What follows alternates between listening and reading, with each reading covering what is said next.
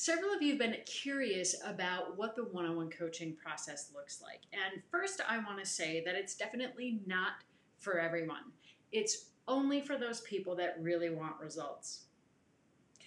Uh, what I mean by this is that it is a very intensive process when you work with me. We have at least five points of contact every single week. So we have an in person call, then there is journaling that you're sending to me on a daily basis, and then there's email communication with the journaling. So my clients get life changing results but it's work. But that's why I'm here to guide you, support you, and help you along the way. So, what we focus on really depends on you. I work with all kinds of people from all different sectors of business with different obstacles and barriers and goals.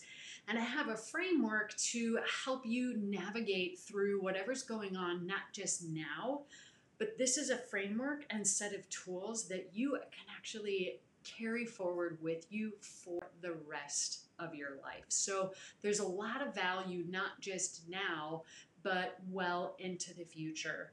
I start by asking people to just make a three month commitment. And at the end of three months, we assess and we figure out what you need and co design what happens next after that. Um, I also have an assessment that we measure where you are when you start and where you are when we finished because your success is my success.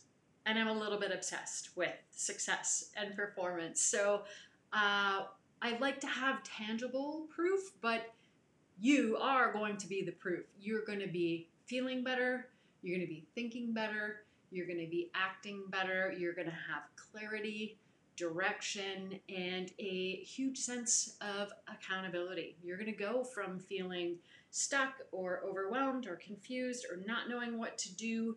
A lot of people lately have been telling me when I ask them, What's your biggest barrier? They're like, I am. I am my own biggest barrier. So I want to help you get out of your own way and get you moving forward and get you accomplishing what it is that you want. So if you're interested, happy to set up a call. I can explain a little bit more and answer any questions that you might have.